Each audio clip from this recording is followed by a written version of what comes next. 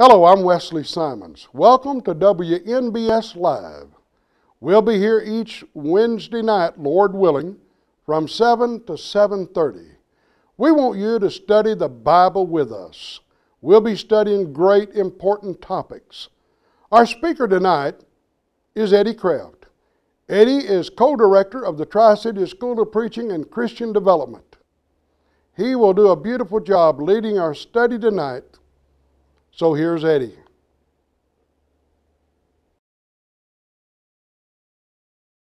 Welcome to our Bible class. We appreciate you joining us tonight. We're going to continue our study of Cornelius. We began looking at that last week, and we're going to do a second part to that uh, this week. But we appreciate all of you all being in our class. We appreciate the folks joining us by internet, and we hope that you'll be studying with us for the next little while as we look at some very, very important things relative to Cornelius. We appreciate so much those of you that have shown the interest in this, and as Wesley pointed out in our first uh, class, this class is not designed to encourage folks to stay home and miss their regular worship assemblies, but it is designed for those that may not have the opportunity to attend. A lot of the older folks that don't get out at night, it gives you a chance to study with us from the inspired, inerrant, perfect will of God. We've even had churches that are smaller that are using this as their Wednesday night Bible class. And for that, we are grateful. If we can be of assistance or help in those areas, we certainly appreciate that opportunity to do that. And we thank you for joining us. We're looking at some things that we learn from Cornelius. We learn, number one, that there is one way for all men.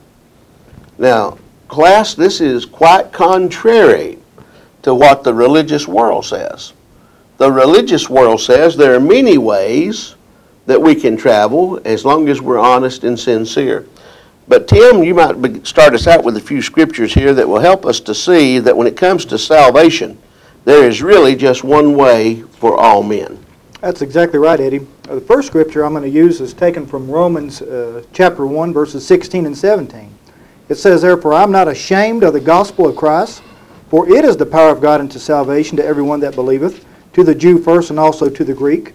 For therein is the righteousness of God revealed from faith to faith, as written, the just shall live by faith. I want you to notice here, from these verses here, it says, For I'm not ashamed of the gospel of Christ, not gospels of Christ, for it is the power of God unto salvation to everyone that believeth, to the Jew first and also to the Greek.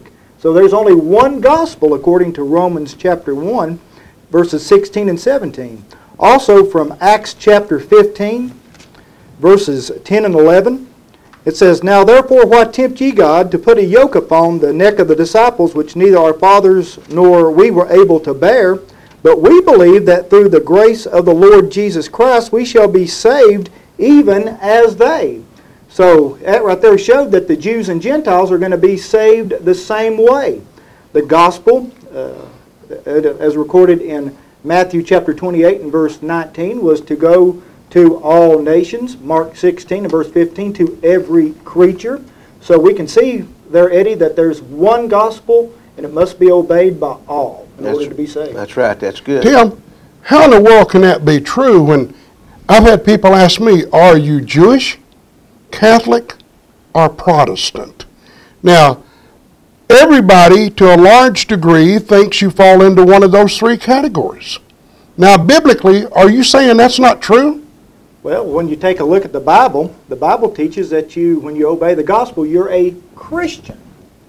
Uh, over in Acts 11 and verse 26, they were called Christians first at Antioch. A matter of fact, uh, our Lord uh, said this over in John chapter 10 and verse verses 14 through 16, he says, I am the good shepherd and know my sheep, and am known of mine, as the Father knoweth me, even so know I the Father, and I lay down my life for the sheep. Now watch this in verse 16. And other sheep I have, which are not of this fold, them also I must bring, and they shall hear my voice, and there shall be one fold and one shepherd. So okay. one fold and one shepherd. And when, when you obey the gospel, you're just a New Testament Christian. And you know, like Wesley said, sometimes on the Rise to Truth and other programs we've been on, they'll try to paint you in a corner, make you either Catholic or Protestant or premillennial or postmillennial or amillennial. And we just want to be what the Bible teaches us uh, to be. Acts 10, 34 and 35, I think are a couple of passages, fellas, in, in class that will help us too in looking at this question, is there just one way for all men? It says that Peter opened his mouth and said of a truth, I perceive that God is no respecter of persons, but in every nation, notice that, not in some, not in most, not in might, but in every nation, he that feareth him and worketh righteousness is accepted of him. And so here are some examples. Wesley, on our first program, you pointed out that if you have a command, but you have examples to back that up, then you really have a tremendous amount of information that will help us on that. Uh, we have one of our first year students, actually, he's a second year student from well, with us. Caleb, I'd like to just let you mention a few minutes those examples that we just saw on the screen of conversions from Acts 8, which we've done looked at the Ethiopian eunuch, but we're glad to have Caleb with us and uh, a part of our Tri City School of Preaching, Christian Development. And so, Caleb, if you would, in looking at this point, there's one way for all men. Is it that the case when we look at Acts 9, Acts 10, Acts 16, so forth? When you look at Acts 8 and you see that the eunuch is traveling, one thing certainly that sticks out is there's a teacher involved. Philip comes to teach the eunuch, and when he's reading to him the gospel and they're riding in the chariot, you see that his interest is to obey the gospel, and he's saying, What must I do to be saved? Well, then you see that he's baptized. When Philip and the eunuch went down in the water, that was so that he could obey the gospel. In Acts 8 36, and as they went on their way, they came into a certain water, and the eunuch said, See, here is water, what doth hinder me to be baptized? Philip said, If thou believest with all thine heart, thou mayest. And he answered and said, I believe that Jesus Christ is the Son of God. He commanded the chariot to stand still, and they went down both into the water, both Philip and the eunuch, and he was baptized. And just as you know, you had mentioned, Wesley said, when you have example and command, you have a whole lot of information. Just in this one account, we have a whole lot of information. That his salvation doesn't stop at belief, like some denominations may teach, but there was also his belief that Jesus is the Son of God, and he confessed that before Philip. He confessed it before God, and then he obeyed the gospel, being baptized, fully immersed in water. You see that in Acts 8 and also in Acts 9. And then going into Acts 10 again with the, the Roman citizen, the Roman soldier. Mhm. And then, you know, here we're looking at our examples of what we must follow. And then Acts 16 with the Philippian jailer. There, one thing that we'll see also in that account, again, the examples that we have, one example that we can get from Acts 16 that really sticks out in my mind is the urgency. And also the repentance of the jailer after Paul and Silas being beaten and imprisoned. You see that they are uh, released from the prison. Verse 29, it says, They sprang in, or he called for a light and sprang in, and came trembling and fell down before Paul and Silas, and brought them out and said, Sirs, what must I do to be saved? There again is the interest. You know, no one is going to obey the gospel who's not really interested.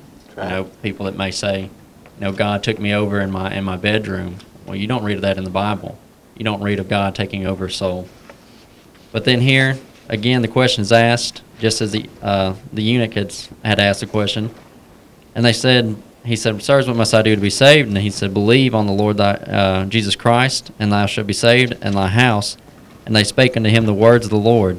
And I believe Brother Tim had just said a moment ago uh, about Cornelius speaking words to them, or Right. Peter speaking words to Cornelius. Here, if someone may have tried to say that, well, here, when they answered how to be saved, they said, answered him, believe. Well, he didn't even know yet what to believe because they hadn't taught him yet. That's right. So then they teach him the, the gospel. In verse 33, and he took the same hour of the night and washed their stripes and was baptized, he and his straightway. See the urgency there. That's right. That's, that's excellent. So Wesley, then, when you're looking at these cases of conversion, they all did the same thing, didn't they? Right. Wouldn't it be ridiculous, Eddie, to say, you know, the eunuch, he, he experienced faith only. The uh, Roman citizen Saul, here is a man who prayed the sinner's prayer. Of course, Cornelius was elected from the foundation of the world, and he had no choice. And the jailer, here is an individual that had an experience. The Holy Spirit worked upon him directly, and boy, he knew he was saved as a result thereof. Now, wouldn't that be ridiculous? Right. And that's what the religious world wants us to believe that this is what happens. Then they'll let the eunuch be a Baptist. Then they'll uh, let Saul be a Methodist. They'll let Cornelius be a Presbyterian. They'll let the jailer be a Mormon. Well, I don't know about a Mormon. Because, you know, a lot of people, the Mormons and the Jehovah's Witnesses, no, sir. No, we don't, we don't buy into those religions. Well, we got a question if that's true. You know, people who call a rise to Truth, we don't go along with the Jehovah's Witnesses. Well, sir, would you mind telling me why? Well, what they teach is out of harmony with the Bible. Well, now, wait a minute. If we're going to judge the Jehovah's Witnesses by the Bible, we got to judge every religious group by the Bible, including the Church of Christ. That's right. And you know, Wesley, uh, in this last election, I had religious people tell me, I won't vote for Romney because he's a Mormon. Mhm. Now, these same people believe that there's saved people in all churches. Yeah, And so then, why not? yeah, that's you know, exactly if, right. if there's saved people in all churches, or you could have even said Cornelius, being a good man, he didn't have to be in any church, that's right. and they'd have accepted him. But like you said, they, the Bible teaches we've all got to follow it. And that's Right. true for the Church of Christ as well. Oh, yeah. We've got to follow the Bible because we're no better than anyone else. Eddie, we want the listening audience to know. We want them to investigate us. That's right. We do not want them to take our word on any subject. As we always say on Arise to Truth, check us out. Your soul's too precious, eternity's too long, and hell's too hot for you to take the word of some individual and wind up lost. And we don't want to do that. That's We want to do what the Bible says. I watched Oral Roberts, two or three other preachers on television, and they were trying to talk about the Jews. And they wanted to make the Jews saved, get them saved, regardless of their buying into Jesus Christ. So Oral Roberts said, really, folks, there's two ways of being saved. You can be a Christian or you can be a Jew. And one of the guys said, Well, I don't know if we want to word it exactly that way. There's two ways of being saved, because it kind of seems like the Bible says there's one. But I agree with you, Mr. Roberts, that the Jews are going to be saved, and uh, we uh, uh, Gentiles have got to believe in Jesus Christ. No, Jesus said, Except you believe that I'm He, you shall die in your sins. That's right. I think Howard has a, a question or comment too, Wesley. You know, uh, Dad, in Matthew 28, verses 19 and 20, Jesus told his disciples to go therefore and teach all nations, baptizing them in the name of the Father and of the Son and the Holy Ghost, teaching them to observe all things whatsoever I've commanded you, and lo, I am with you always, even until the end of the world. The plan of salvation's been the same since Pentecost, and it'll be the same to the end of the world. Jesus said, He that believeth and is baptized shall be saved, and he that believeth not shall be damned. And people are always wanting to change it. What we need to do is accept what God says. Faith comes by hearing, and hearing by God's word.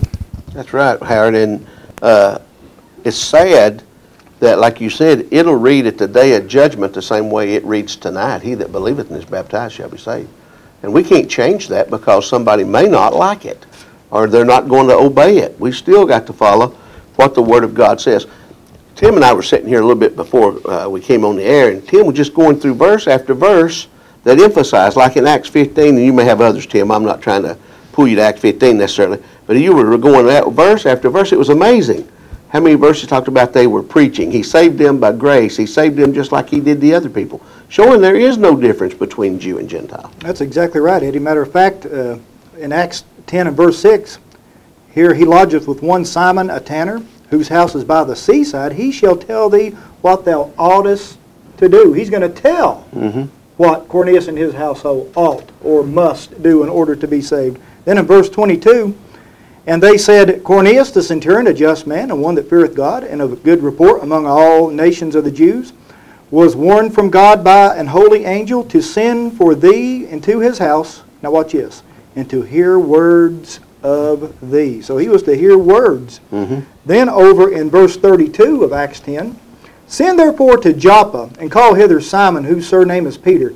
He is lodged in the house of one Simon a tanner by the seaside, who, when he cometh, shall speak unto thee. Well, what was he going to do? He's going to speak words unto him. Right. Then in verse 33, immediately therefore I sent to thee, and thou hast well done that thou art come. Now therefore are we all here present before God to hear all things that are commanded thee of God. Then he goes on to say in verses 34 and 35, and Peter opened his mouth and said, Of a truth I perceive that God is no respecter of persons, but in every nation he that feareth him and worketh righteousness is accepted with him. Now watch this. Worketh righteousness is accepted with him. Over in Psalm 119 172, my tongue shall speak of thy word, for all of thy commandments are righteousness. So once again, words, God's commandments there. Right. His righteous commandments. Then over in uh, verse 42, and he commanded us to preach unto the people. Yeah. So it's going to be words, according to Acts 11:14, whereby Cornelius and his household would be saved. Tim, you read a verse which I think is a key verse. Verse 33 of Acts 10. Immediately, therefore, I sent to thee, and thou hast well done that thou art come. Now, watch the attitude. Now, therefore, are we all here present before God to hear all things that are commanded thee of God, To do what? To do what is commanded of God. To hear. Yeah. Yeah. Now, watch this. The question I want to pose what kind of audience are you? Now, look what a great audience this man is and the people with him. We're here to hear all things that are commanded thee of God. Peter, you speak, we'll do it. On the day of Pentecost, look at the audience. About 3,000 of them were pricked in their heart. These people obeyed. Look at the eunuch. See, there's water. What doth hinder me to be baptized? Right. Yeah, and he said, Well, if thou believest with all thine heart thou mayest. He said, I believe Jesus Christ is the Son of God. Upon that confession, he was baptized. Now, in Acts 7, those people were pricked in their heart the wrong way. Yeah, they got a different result, didn't they? They got a different result, and they killed Stephen. Now, what this amounts to, folks, when I hear what God's plan of salvation is, how am I going to respond to it? Well, now that's not what mom, mom and dad believed. Well, I'm sorry, is it what the Bible says? One lady says, I'm going to be a Methodist until I'm convinced otherwise, and I'm not going to be convinced otherwise. See, you can help some people. Right. So we got to have the attitude, Lord, speak. Thy servant will obey. You, you show me what the plan of salvation is, the way you want me to live, the way you want me to worship, the church you want me to be a member of, and I'll do it. That's exactly right, and that's what attitude all of us have to have. Howard? You know, I, I took my oldest son today to get his driver's license, and every person that came into that building went through the exact same process. We got a number, we got two pieces of paper we had to fill out, and unless you done that, I promise you, you wouldn't get your driver's license. If we don't do what God says, we'll be lost eternally. And not one person in there argued. I'm sure they wasn't happy. I pl- had to plan this for two months to even get in. I thought there's got to be a better way.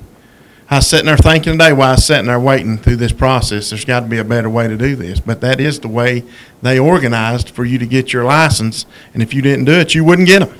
Yeah. And God organized a plan for us to be saved, and that's what we have to follow.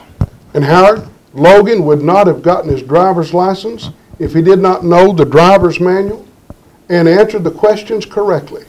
If we're going to go to heaven, we're going to have to know the manual. That's right. He failed it the first time, had to study it again to get it Yeah. right the second. Well, I'm shocked that Logan failed, as brilliant as that young man is. but nevertheless, you just think about that. He had to know that manual in order to get his driver's license. Like you say, he failed the first time. That's better than Eddie going back five times. but nevertheless, he, he passed because he knew the manual and, and therefore he could take his driver's test and get his driver's license. Now, Judgment Day, according to the Bible, I'm going to be judged according to the Word of God, according to John 12, 48. Now, if I'm going to be judged according to the Word of God, I better obey the plan of salvation that's in the Word of God. I better be a member of the church that's in the Word of God. Right. I better worship the way the Word of God states. I better endorse the moral code of the Word of God, the organization of the Word of God, or I'm going to be in trouble. That's right. And you know, Wesley, uh, we want to pass on to something else here in just a minute, but I want to take the time, if there is a difference between the Jew and the Gentile, then it ought to be emphasized in the Bible as far as different plans of salvation. Right. Listen to Acts 15, 7. Peter is talking to the Jews, and he says, When there had been much disputing, Peter rose up and said, Men and brethren, you know that a good while ago God made choice among us. Now watch. That the Gentiles by my mouth should hear, hear the word of the gospel and believe. Now verses 10 and 11, same chapter. Now therefore, why tempt ye God, and put a yoke upon the neck of the disciples, which neither our fathers nor we are able to bear. Verse, now notice carefully. But we believe that through the grace of the Lord Jesus Christ, we shall be saved even as they. We'll be saved even as they, Gentiles, were saved. So the Bible put no distinction between those people. And so we're all saved the same way. Now, here comes an interesting uh, question that is oftentimes asked when you're dealing with Cornelius. We learn from the teachings of Acts 10 and 11, he was not saved by Holy Spirit baptism. Great day, Wesley. How many times on a Rise to Truth have you and Tim and others been engaged with Cornelius when someone says, oh yeah, he, he was baptized and everything, but that was Holy Spirit baptism. Well, the Bible doesn't teach that, does it? No, and they got a problem by the time you come to Ephesians 4 5. The Bible says there's not but one baptism. Right. Now, there's six of them mentioned in the Bible, and you can narrow them down to find out which baptism is binding on mankind today. When you read the Great Commission in uh, Matthew 18 through 20, you find out that that baptism is to last until the end of the world. Right. That's baptism in water in the name of the Father, Son, Holy Spirit for the remission of sins. Now, I know Holy Spirit baptism did not save Cornelius. You know why I know that?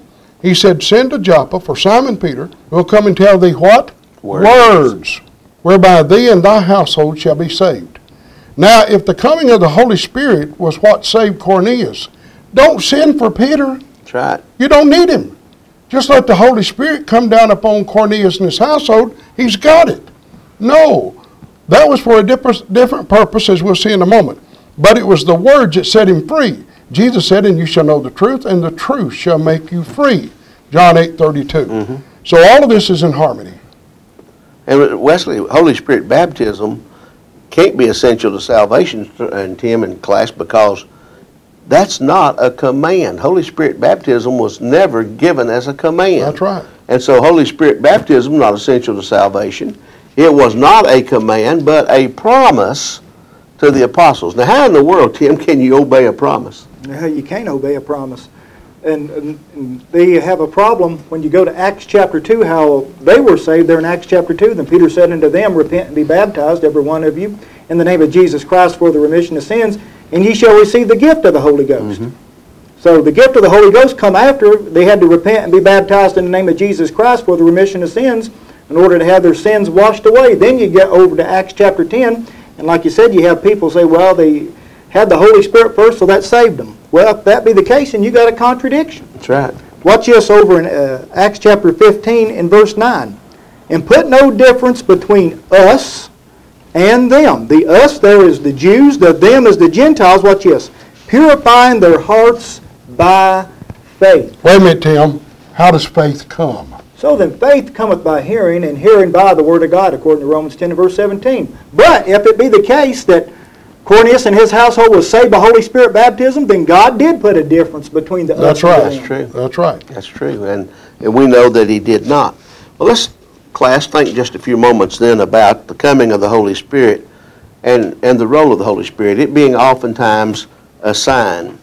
And let's think about that. Vicki, if you would, read John 1, verse 33 for us, and we'll let James read John, um, I'm sorry, Mark 9 and verse number 1. These are on the screen for our folks that are viewing by way of internet, we certainly appreciate the men putting that up for us. Acts 1 8 and Acts 2 4. But we'll let Vicki read John 1 33, and if you'll read Mark 9 1, and Jay, we'll let you read Acts 1 8. And uh, who else? But Hannah, you want to read Acts 2 4 then? All right, let's read these. John 1:33, and I knew him not, but he that sent me to baptize with water. And the same said unto me, Upon whom thou shalt see the Spirit descending and remaining on him, the same is he which baptizes with the Holy Ghost. Okay, and James, if you'll read the next one All for right, us. James, before you read, I want to make a comment. Okay? Now, what's the purpose of reading John 1.33?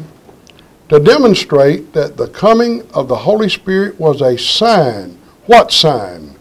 All right?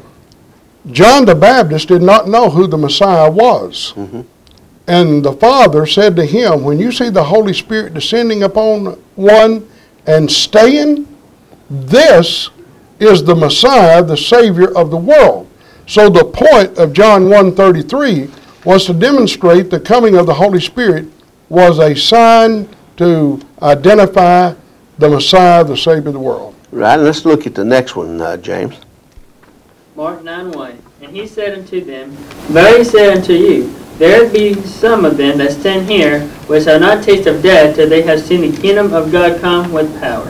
All right, now this next verse is going to relate to that one to show exactly, it's not going to come until the power comes. Okay, uh, read that one for us, Jay. Acts 1 8.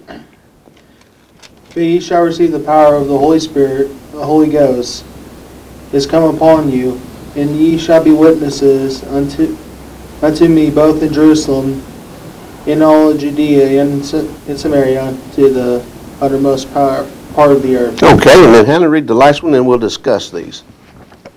And they were filled with the Holy Ghost and began to speak with other tongues as the Spirit gave them utterance. Wesley, I, we've looked at this before, but they're so these verses are so powerful. You know, and as any verses in the Bible are powerful. They make it very clear here that the Holy Ghost is not going to come upon you till the power has come. That's right. And when the power comes, we're going to know the Holy Ghost has come upon them. Well, in Acts 2 4, the power came upon them. That's right. The Holy Ghost came, the power came, the kingdom came. That's And, right. you know, when you go back and uh, look these verses up, and it amazes me that preachers even, and I've heard you ask this, and we've asked this to different ones, does John 9 1 mean what it says? That some of those people were going to be living when the kingdom was going to come with power?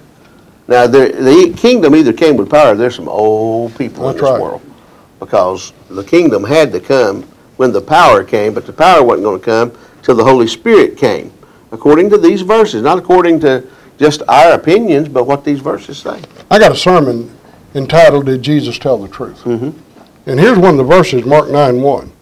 Did he tell the truth when he said, Some of you, let's just say he's speaking to this audience, some of you will not taste of death until you have seen the kingdom of God come with power? Well, some, some of those people within his lifetime, the lifetime of the first century, would see the kingdom come with power. And like you say, then we need to know how the power is going to come. Well, the Bible makes that plain. The power is going to come when the Holy Spirit comes. Well, when the Holy Spirit comes, the power is here, and when the power comes, the kingdom's been established. And Ed, we got people saying the kingdom has not yet been established, and Jesus Christ said that people in the first century would see it come with power. Exactly, and so we can know that that happened. Now, the giving of the Holy Spirit to Cornelius, then, Wesley, was a sign to the Jews that the Gentiles were to be accepted. Vince, Acts 10 47, if you would, I'd like for you to read that one for us because I think this really helps us to see the point that this giving of the Holy Spirit was a sign to the Jews that the Gentiles could be accepted into the kingdom. And look at, uh, Vince, if you would, Acts 10 47. Can any man man forbid water that these should not be baptized, which have received the Holy Ghost as well as we? That's interesting. Can any man forbid water that those or these should not be baptized? Well, why would anybody want to re- not baptize them? They're Gentiles. They're dogs. We don't mess with Gentiles. We don't eat with Gentiles. They're dogs. We're not going to mess with them. They're not worthy of the same salvation we got. And Wesley, I believe every Jew would have followed that had it not been for the fact of that Holy Spirit being given to them. That's That right. was a sign that said they're just as good as we are. That's right. And, you know, of course, Peter's done gone through some difficulties here with the Lord, him saying, you don't call something unclean that I've not called That's right. unclean. And don't call anything common. All right, we got a question that's been sent to us. And the question is, does one have to be circumcised to be a member of the church? Well, if you're talking about physical circumcision, no. If you're talking about the circumcision of the heart, then yes. Colossians 2 says and deals with the circumcision of the heart, where God does the operating. And so you see, sometimes in dealing with questions, and we try to teach our students at the Tri City School of Preaching, Christian Development, you've got to first of all understand the question.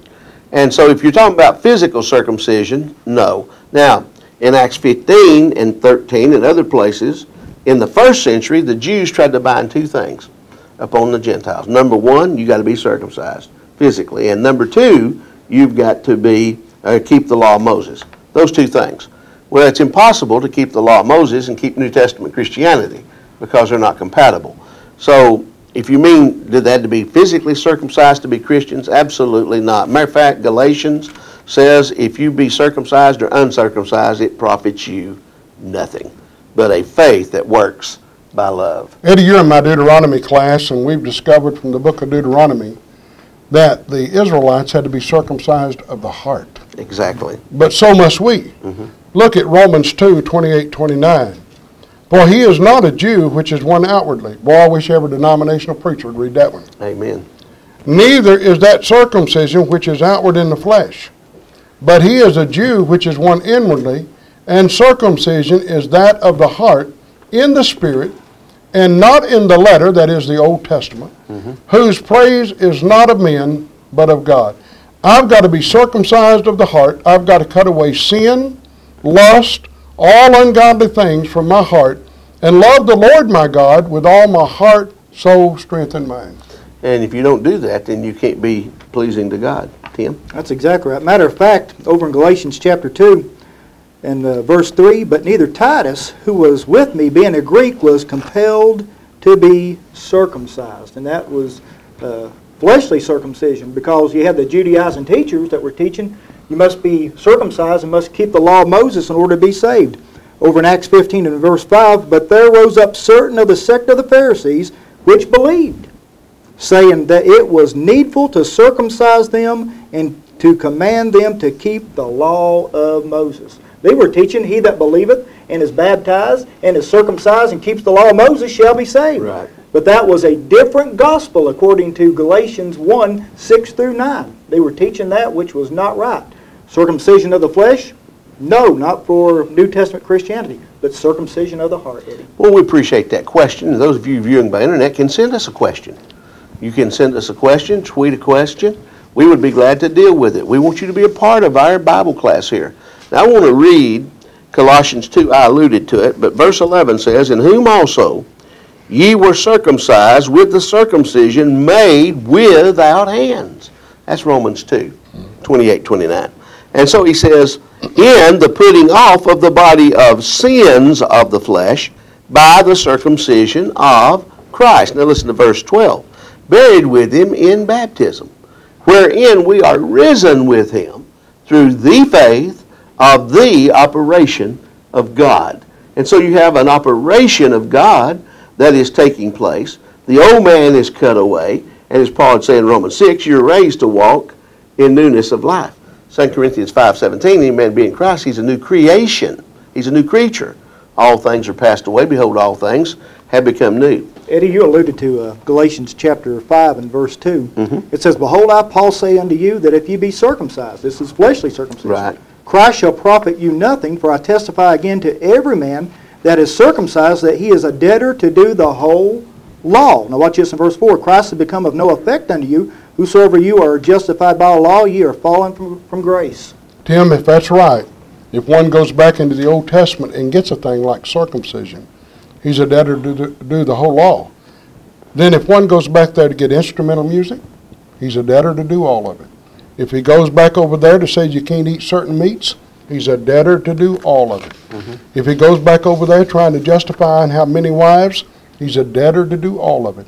And the Bible says when he does that, he falls from grace, Galatians 5 4, even though some in the religious world does not believe what that verse says, it's Holy Spirit given information. That's exactly. All right, any other comments on the circumcision from the class?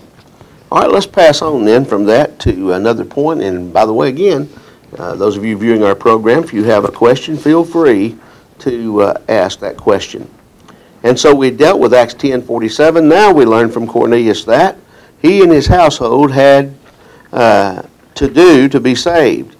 What did they have to do to uh, be saved and become members of the Lord's church? And once we find that out, we found out what we have to do as well in order to be saved. Some of these passages we have noticed and looked at from time to time, but they're still just as crucial and important to us uh, in this light as well. Uh, Let's think uh, again at some of the passages that we have here. Harry, do you want to read Acts 15, 7 through 9 again uh, for us, please? And we'll notice that, and then Acts 11, 18, and 10, 48 again. And when there had been much disputing, Peter rose up and said unto them, Men and brethren, we know how that a good while ago God made choice among us that the Gentiles by my mouth should hear the word of the gospel and believe. And God, which knoweth the hearts, bear them witness, giving them the Holy Ghost, even as he did unto us, and put no difference between us and them, purifying their hearts by faith. All right, that sounds a whole lot like one gospel for both. That's right. You know, and you just it's you just can't get around uh, what the Bible says about that. In Acts 11, 18, it says, when they heard these things, they held their peace. They glorified God, saying, Then hath God also to the Gentiles granted repentance unto life. Notice when they heard these things, and so no uh, doubt then the value again of Acts 10, 48, that he commanded them to be baptized in the name of the Lord, and they prayed with him to tarry certain days. Wesley, none uh, nothing said about the sinner's prayer, the mourner's bench, That's right. or any of those things. That's right. Michael, put the chart back up there if you would, please, if he can hear me. I want to show you something. Uh, according to uh, 15, Acts 15, 7 through 9, I want you to notice it says, God made choice among us that the Gentiles by my mouth should hear the gospel and believe. Notice the preaching and then the believing. And then in Acts 11, 18, when they heard these things, there's the preaching, and then the repentance unto life. And then in Acts 10 48, and he commanded them, there's the preaching, and then the being baptized. Now, what was he supposed to do? He was supposed to send to Joppa to get Simon Peter, who would come and tell him words Right. Whereby he and his household could be saved. Here we see the words were preached. He had to believe, Cornelius and his household, repent, and be baptized in order to be saved. uh, over in Acts chapter 10, verse 33, we've alluded to this, to hear all things that are commanded thee of God. Now watch this in verse 48. And he commanded them to be baptized in the name of the Lord, then prayed they him to tarry certain days. So we can see there that baptism is a command of God. Hold it, Tim. Is there any such thing as a non-essential commandment?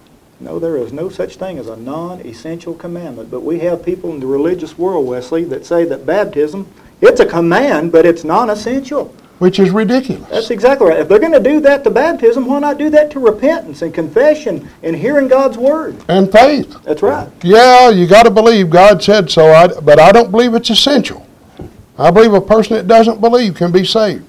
Well, if we started making that argument, they'd think we were nuts. That's right. But then here is an inspired man led by God Almighty to the household of Cornelius, commanding these individuals to be baptized. And then these denominational preachers have the gall to say, yes, it was commanded, but it's not essential. I debated a man on radio, gave him a series of questions. One of them was, one must obey the commandments of God in order to be saved. He put false, and the reason he put false is because I had another question down there. It said baptism is a commandment. He put true, and if one has to keep the commandments of God in order to be saved, baptism is a commandment, therefore one would have to be baptized. He solved the dilemma, and rather than accepting truth, he said you didn't have to obey God to be saved. Then it was a call-in program, and one of his own members called in and said, if I was not baptized for the remission of sins, then why did you baptize me? Absolutely, and he couldn't answer it. Okay, fellas, we have another question called in. How can I be an example if people will not listen? Well, whether people listen or not, we're going to be an example. We're going to be either a good example Right. or a bad example. Eddie, they didn't listen to Jesus. No, That's that's right. right. That's exactly right. Many of them turned to walk with him the more they had listened to him at one time. Mm-hmm. But we we've got to do what's right, and we can be an example whether people listen uh, to us or not. And I'm confident that Peter and others, when they went out and preached, there were a lot of people that didn't listen to them. There's about 3,000 obeyed the gospel on the day of Pentecost, but that's not near as many as the people that did not Oh, that's right. obey the gospel. That's right. And so they didn't listen either, but But you know, you got to be a good example. It doesn't make any difference whether It- people listen. Yeah, Eddie, the Bible makes the argument that no man liveth unto himself. Right. In other words, uh, we're not on an island out here by ourselves and people not watching. There's people watching us all the time. And there's a poem out, I'd rather see a sermon than uh, hear one any day. Right. And boy, how true that is. Uh, and that's where we get that old adage, why don't you practice what you preach? Because people are watching. Right. In our Galatians class this week at school, Peter in Galatians 2 got caught up in sin. And the Bible says the other Jews did as well. And then even Barnabas, the son of consolation, That's right. got carried away with their dissimulation. Now, here was a bad example, and people followed it. People will follow our examples many times when they're bad. All right, well, our time has caught up with us. I don't know where it goes when you have this much fun, but it gets away. Thank you for joining us on our program. We hope that you'll join us uh, next Wednesday night, 7 o'clock, and we'll be discussing some issues that hopefully will be beneficial to you. Till then, may God bless you is our prayer.